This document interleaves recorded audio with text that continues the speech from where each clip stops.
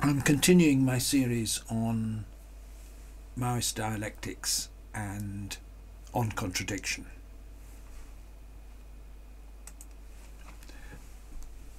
When people who are supporters of dialectical materialism talk about contradictions, they're talking about something that they believe exists in the real world. They're not just talking about statements, which is how contradiction would normally be understood. It's clear they're using the word in a different sense to what it normally means. The normal meaning of a contradiction is literally contradicto, to say the opposite. Suppose we have the following assertions. A. x is a positive integer. B. x is an even integer. C. x is an odd integer and we claim that all these hold. But since even positive integers are those which have 2 as a factor, and all other positive integers are odd, it's clear that the combination of statements A, B, C jointly contradict one another. That's the normal sense of a contradiction. And in mathematics, if you want to prove something, a common method is to assume the opposite and show that it'll lead to a contradiction. Now, there's some question as to whether that is entirely adequate for all forms of mathematics, and non-constructivist, uh, sorry, constructivist mathematicians would dispute it, but that's still been a classical method since Euclid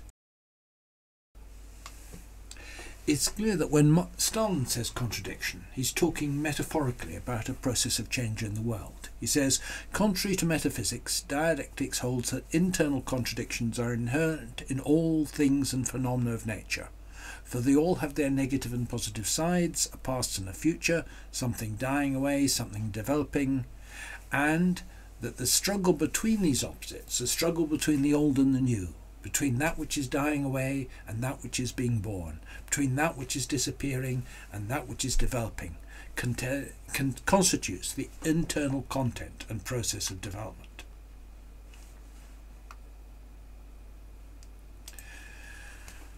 Now,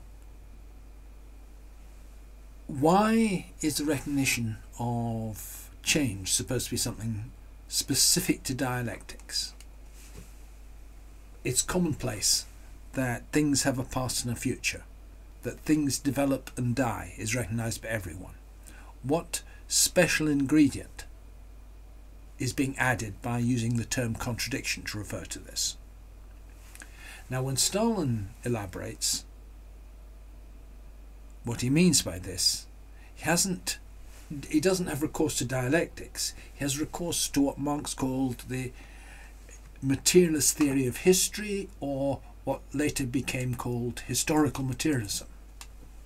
For example, he gives the example of slavery, saying it would be senseless under modern conditions, but that during the decay of ancient communal society, it was progressive.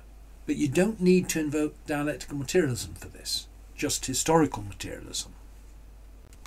If we go back to Marx, go back to Marx, or Marx and Engels, they initially set out their theory of historical materialism in a book called The German Ideology.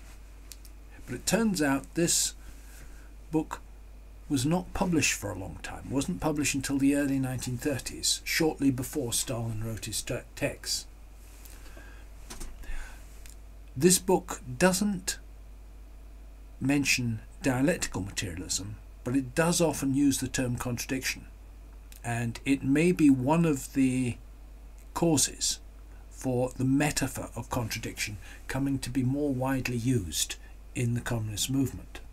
The publication of the German ideology in um, 1832, for example, he said it says the division of labour implies the contradiction between the interests of separate individual or the individual family and the communal interest.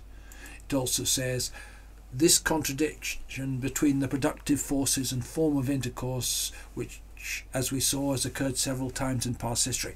Repeated uses like that. So these are uses in the relatively early Marx. Now, what about the term class contradiction? It now seems to be standard in communist language. But if you use Google Books, you won't be able to find any use of the term prior to 1925, when it was introduced by Bukharin in his textbook on historical materialism. And in both Bukharin and the German ideology, the word contradiction could equally well be replaced by the word conflict without changing the meaning in English. And of course, these weren't written in English. And this is the same basic sense that Mao Zedong uses the word contradiction. He uses it in the sense of conflict. Now, he sets out his account of dialectics in a book called On Contradiction, which was published in 1937 or as a pamphlet, and it was probably the most influential work of dialectics ever published. And that's for two reasons. Firstly, the great size of China means that it was pr- printed in huge numbers, certainly tens of millions of copies, I don't know how many. But that was only possible because the Chinese communists who were led by the author of this pamphlet, put into practice a political strategy that is outlined in On Contradiction, and as a result of that, emerged victorious to establish the current state of China, the People's Republic of China. Mao, in On Contradiction, like Stalin, sees dialectical materialism as being tied to accounts of time and change. He contrasts what he calls metaphysical or vulgar evolutionist accounts of Marx with Marxism. Um, the vulgar evolutionists, he say, recognize change, but they only recognize it in three forms increase, decrease, and cyclical repetition. Now, from the context, it's clear that by vulgar evolutionism, he doesn't mean Charles Darwin. He's talking about simplified notions of social evolution. As a modern example, one might take the historian Turchin, who is probably as close to historical materialism as orthodox historians come. He was educated in the USSR, and if you read his books, it's clear that he he's extremely well read in Marxist history and the works of Marxist historians. And he does recognize class conflict as a major motor of history.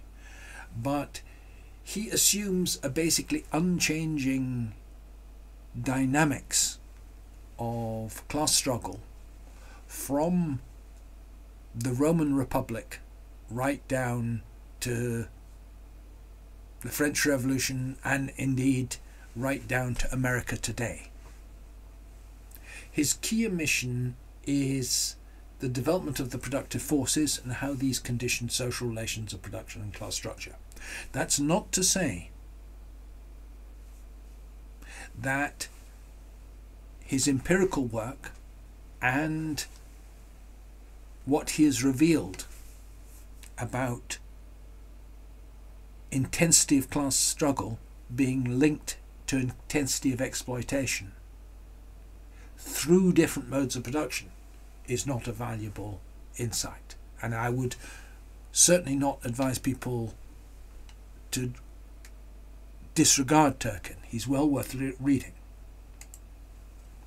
Now, in On Contradiction, Mao lays great emphasis on internal versus external causes. He says that evolutionists only see external causes like climate change or growth as factors for change. Instead, Mao Zedong emphasizes internal causes. Why does he do this? He was denying that China's development just had to be the passive result of external influences. That is to say, of the influence of the European and Japanese capitalist states, which were intervening in China. when he talked about development as a result of internal contradictions, what he, he really meant, and this was just a, a, a philosophical metaphor for what is basically a political discussion, that by internal contradictions he meant the internal class struggle in China, the alliance of workers and peasants and patriotic ca- capitalists led by the Chinese Communist Party versus the landlords and comprador capitalists led by the Kuomintang.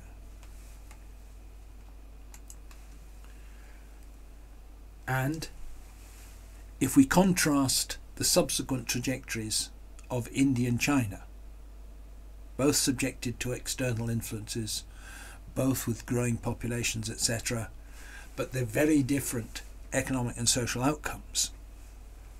You can see that his emphasis on internal contradictions and the internal class struggle was essential to producing the quite different outcome that occurred in China compared to what occurred in India. I will continue this series in further days.